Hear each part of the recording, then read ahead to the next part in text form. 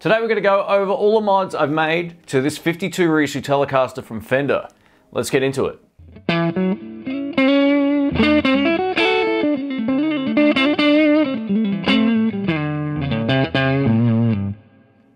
Welcome back to the channel folks, my name's Shane. So today I'm going to cover all the different mods I've made to this particular guitar.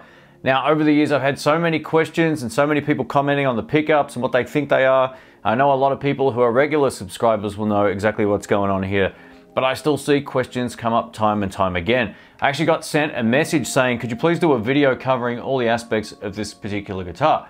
And I thought that's a great idea for a video, so let's get into it. So this is my 52 reissue Telecaster from Fender. I purchased this at Haight Street Music in San Francisco a number of years back. And when I first bought it, it had vintage frets. And they were already very, very short in terms of their height and they were also quite soft in terms of their material. So once I wore those down in a couple of years of just playing this pretty much non-stop, I ended up having to put different frets in and I opted for these 6105 stainless steel frets. I got these because not only Dr. Rick said they were good, and he puts them in his whenever they need a refret. Another good friend of mine, Brian, also suggested getting these ones because they feel great on a Fender. So I put them in and they'll never wear out, or if they do, it's gonna take probably 10 or 15 times longer. So 6105 stainless steel frets are definitely a great upgrade for a guitar with vintage frets.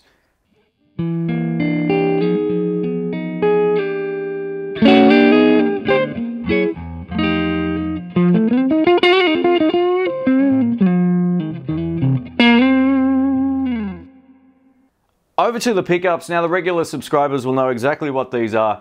These are Joe Barden, Danny Gatton pickups.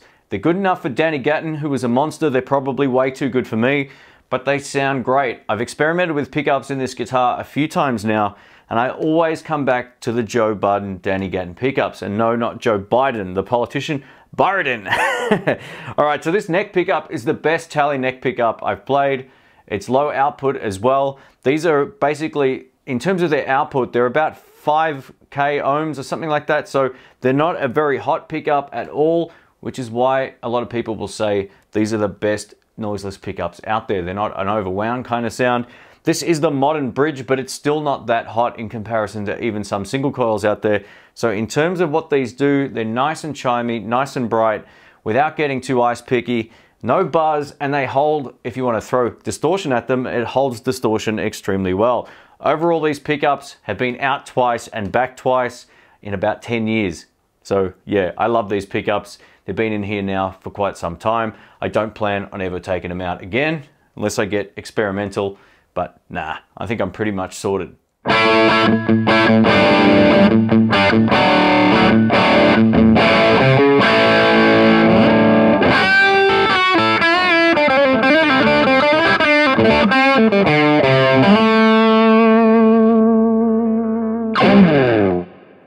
One of the other mods I made on this particular guitar was changing up the volume and also the tone controls. Now I did this out of necessity.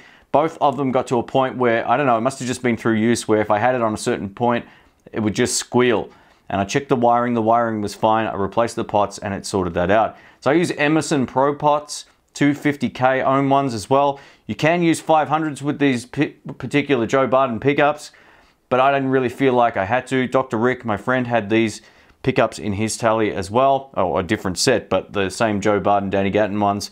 The 250s were plenty bright. So yeah, these are Emerson Pro Pots are definitely the way to go. Not sponsored by them or anything. I actually bought them for this guitar and they've been fine since I put them in. Back in November of 2014, I had a company called Rock Rabbit reach out to me and they sent me this angled Telecaster plate. And this is one of those things that I didn't really know about up until getting this in my hands and giving it a go. But having the switch on an angle makes actually switching just that little bit easier. And I find, especially from bridge going back forwards, it's just that little bit easier to get there instead of having it right up against the volume control. I think this is a really smart mod and it's something that I've used for, for since I've actually had it now and I love it. So I guess five over five years or so. Now this is made out of aluminium, which has been recycled from um, aeroplanes, which I thought was pretty sweet. So these recycled materials, and that's awesome as well. If you're interested in one of these, links will be in the description below.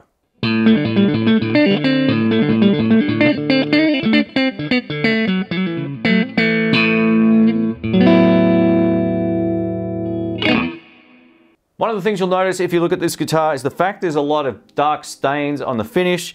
There's also a lot of areas, especially down the bottom here, where there's some black lines and marks.